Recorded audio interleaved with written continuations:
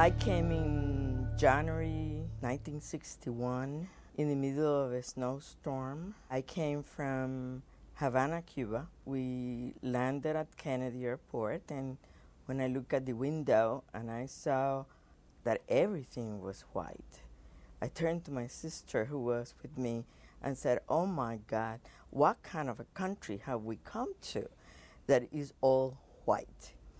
And that was the beginning of my adjustment to the American life.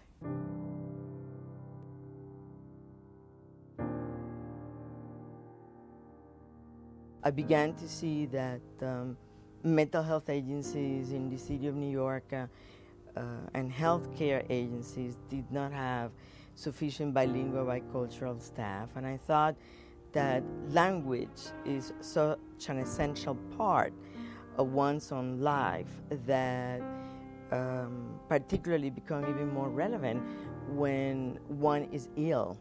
And our first uh, program was um, trying to find uh, nurses who spoke the language, knew the culture, and we mounted the program to um, teach them English as a second language for nurses and help them to pass the licensure exam to become registered nurses in, in this country.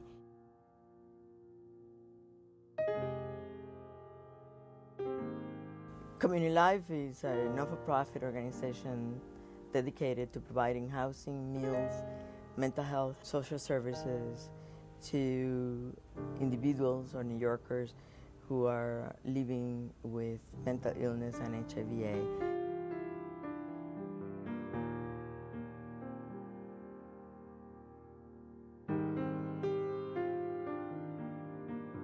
And my heart goes out to them because as I see them in the subway or on the streets, I know that they're not taking their medication, that they're not going to a clinic, that they are not eating.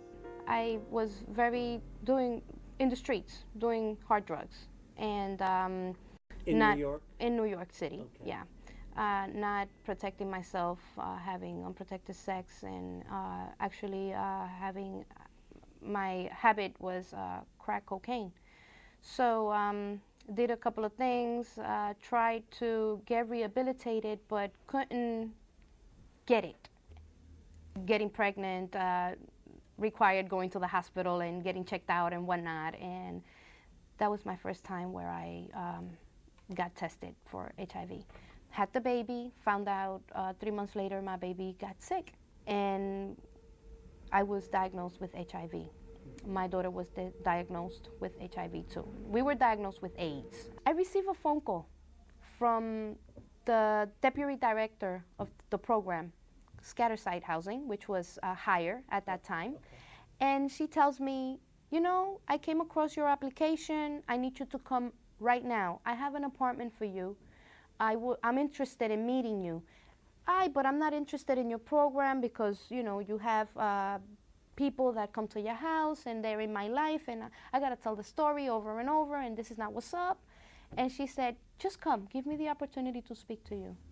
They understood my situation, that they were at my level, not, they were not looking down on me.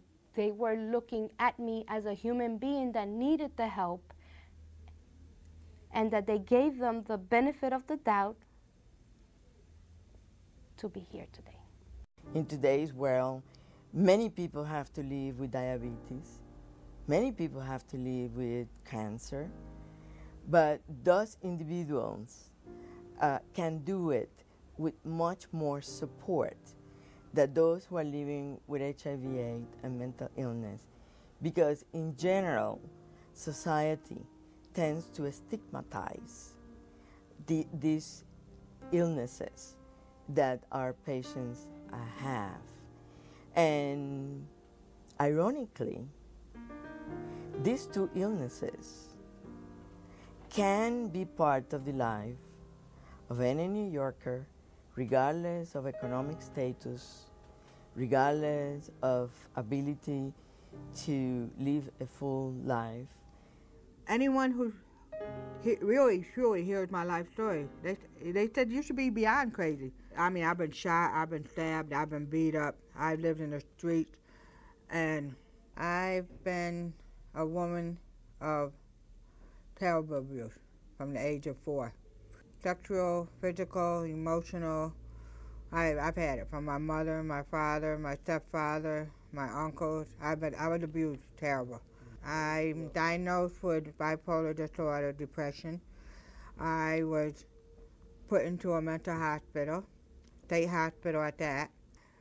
My case manager, she said, "You are you ready to go and live by yourself?" Mr. Nelson did all the paperwork for hire. Hire did their hire gave me the one month rent, one month security. I moved in in four days. These places really work but you have to do the work too. And what I've learned, it's not a handout. It's not a, it's really, they really help you get your life back and more. But God knows I did not know that it would ever, my life would ever be like this. Because when I went into the state hospital, I thought it was over. But God, I mean, what I do now is I work on I work at Elmhurst Hospital. And this agency, all the agencies I've been in, I don't know how they do it. I don't know where they come from, but they've helped Rose Hunter. And my work at the hospital, I give it more than a 100%.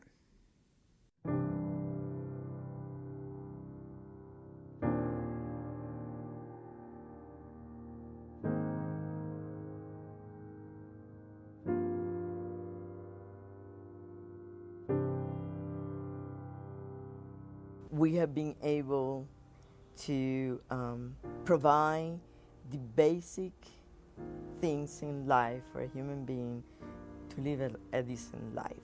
I fly high now. When any, whenever anything comes my way, I conquer it. I'm a warrior. This is my war. This is me. This is the stuff that comes toward me. And I say, oh no, no more. I work with it. I, that's what I teach my patients at Elmhurst. I, I, I work with the mental health because when I yeah, cause when I came out of the hospital, I said I got to give something back. Now I, I work. I I'm involved in many things, and I am very outspoken. Um, with permission of my family and my daughters, um, they uh, they work in the community too. My baby, she's uh, going to be 15 years old. She knows her status and she um, is a peer educator and she it's a mentor to other other kids that are affected or infected with this disease. The community, you know, needs to know that these services are here, that they can be utilized, and that you don't have to be afraid. So the notion of living in community is to really bring together um, families, uh, neighbors, other important institutions of the community. And there are many ways that New Yorkers and the business com community um, can be of help to this institution by providing us with resources, but also with their knowledge and with their skills, um, such as technology, such as uh, uh, how to increase uh, our effectiveness in the work. So um, it is a way for, for them to feel part and to be part of the community that these human beings live in.